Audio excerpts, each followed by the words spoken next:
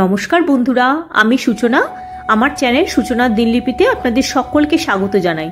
আজ আমি বানাবো এগ চিকেন নুডলস তার জন্য আমি একটা কড়াতে পরিমাণ মতো জল দিয়ে দিয়েছি আর তাতে দিচ্ছি নুন আর এক টেবিল চামচ সাদা তেল।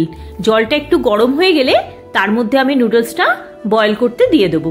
আচ্ছা জলের পরিমাণটা কিন্তু এমনভাবে দেবেন যাতে নুডলসটা জলের মধ্যে ডুবে থাকে। দেখুন, আমি এবার নুডলসটা জলে দিয়ে দিলাম। একদিকটা একটু বয়েল হয়ে গেলে আর একটা দিক একটু টার্ন করে দিতে হবে।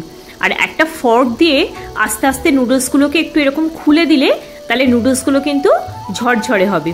আর দেখুন, একটুখানি এরকমভাবে নাড়াচাড়া করে দিলেই কিন্তু নুডলসগুলো খুলে আসছে। এরপর হাত দিয়ে একটা নুডলসকে যদি একটু প্রেস করেন, যদি দেখেন যে ওটা একটু ভেঙে যাচ্ছে, তাহলে বুঝবেন যে বয়েল করাটা ঠিকঠাক হয়ে গেছে। সেই পর্যায়ে গ্যাসের ফ্লেমটাকে বন্ধ করে দিতে হবে। তারপর ওটাকে একটু স্ট্রেন করে নিতে হবে আর ঠান্ডা জল দিয়ে নুডলসটাকে একবার ধুয়ে নিতে হবে। নুডলসটা আমার ধোয়া হয়ে গেলে আমি এটাকে একটু সাদা তেল দিয়ে মাখিয়ে রেখে দেবো আর তারপর পরের স্টেপে চলে যাব। আমি এখানে এক চিকেন চাউমিন বানাচ্ছি। আপনারা চাইলে কিন্তু এতে প্রনও মেশাতে পারেন। এবার আমি কড়ার মধ্যে দিয়ে দিলাম চার টেবিল চামচ সাদা তেল, দুটো ডিম, আমি এখানে অল্প নুন আর হাফ চা চামচ গোলমরিচ দিয়ে ভালো করে ফেটিয়ে নিয়ে আর ছোট ছোট টুকরো করে ডিমটাকে ভেজে নেব। আপনারা চাইলে ডাইরেক্টও কড়ার মধ্যে দিয়ে স্ক্র্যাম্বেল এগের মতো করে নিতে পারেন। কিন্তু এইভাবে যদি ডিমটাকে ফেটিয়ে নিয়ে ভেজে ছোট ছোট টুকরো করে নেওয়া হয়, তাহলে কিন্তু ডিমটা খেতে অনেক ভালো লাগবে চাউমিনের মধ্যে।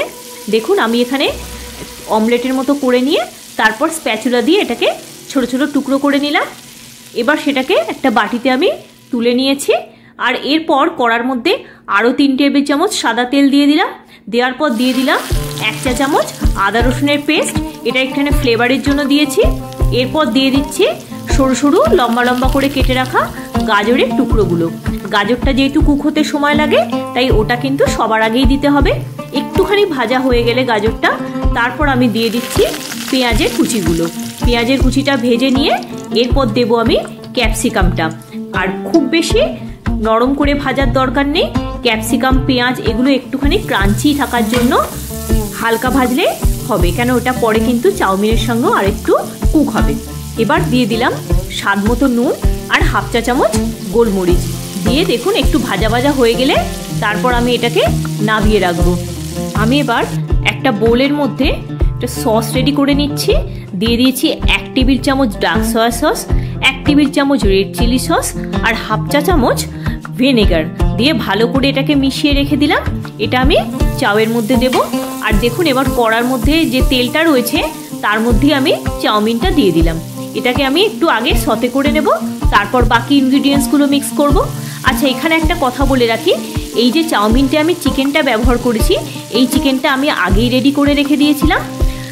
এখানে আমি প্রথমে দিয়ে দিলাম সসটা তারপরে যে ভেজে রাখা ভেজিটেবলটা সেটা আমি মিশিয়ে দিলাম।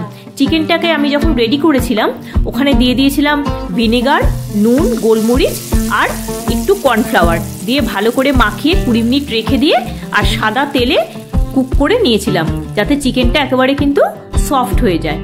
তো এবার আমি দেখুন, ডিমটা মিশিয়ে দিলাম আর যে চিকেনটা আমি রেডি করে রেখেছিলাম, সেটাও এই চাউমিনের মধ্যে মিশিয়ে দিলাম। দিয়ে দিলাম স্বাদ মতো নুন, হাফ চা চামচ চিনি চিনিটা কিন্তু এখানে দেবেন কেন চিনিটা কিন্তু টেস্টটাকে ব্যালেন্স করবে। আর দিলাম হাফ চা চামচ গোলমরিচ।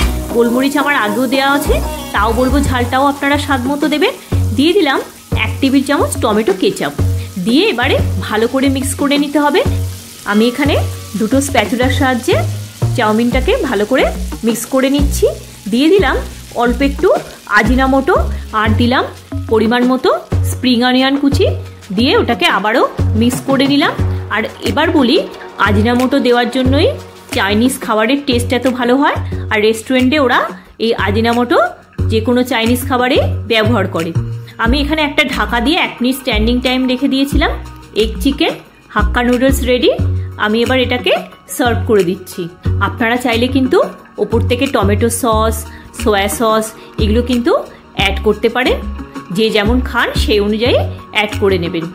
আমি ওপর থেকে দিয়ে দিচ্ছি শুধুই একটু পেঁয়াজ কুচি, এই নুডলসের সাথে আমি রেখেছি dry chilli chicken dry chilli chicken আর এগ চিকেন নুডলস, একেবারে দুর্দান্ত কম্বিনেশন ভিডিওটা যদি ভালো লেগে থাকে, চ্যানেলটা সাবস্ক্রাইব করে পাশে থাকার অনুরোধ রইল। সবাই খুব ভালো থাকবেন, সুস্থ থাকবেন, দেখা হচ্ছে পরের একটি পর্বে। ধন্যবাদ।